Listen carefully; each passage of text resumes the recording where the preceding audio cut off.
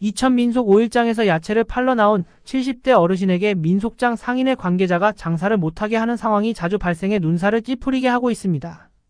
지난 7일 이천시 관고동 관고시장 입구에서 배추를 팔러 나온 어르신이 50대로 보이는 상인의 관계자가 왜 여기서 장사를 하냐며 어르신에게 고함을 찍어 삿대질을 하면서 야채를 팔지 못하게 하는 현장이 우연히 지나는 본 기자가 목격했습니다.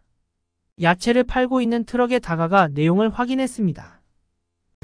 보면서는 얼마씩 해? 아유, 이거 봉사단체 단체를 해주고 시비 거는 거야 계속 얼굴 그래서 아 전장에 지난주에 비 와서 못 왔는데 전장에도 와서 시비 거는.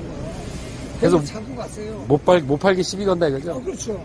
길을 막았네 뭐네 그러고 그러는데 아니 배태가 얼마요? 아유 없어요. 이거 파는 거 아니에요?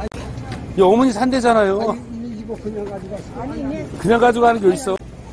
수요일날 적자 봉사단체에서 오늘 같은 받아먹고 내일 반찬해가지고 모레 돌린단 말이야. 독고는 어르신 옆에는 배추를 사러 온 아주머니들이 몇 분이 있었고 야채를 팔라고 재촉했으나 화가 잔뜩 나 있는 얼굴로 어르신은 안 판다며 장사를 정리하는 중이었습니다.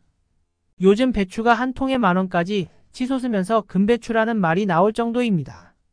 그런데 이 어르신은 세 통에 만 원씩 싸게 팔고 있으니 소비자들은 얼마나 좋습니까? 어르신은 본인의 밭에서 직접 뽑아와 판매하고 있었습니다.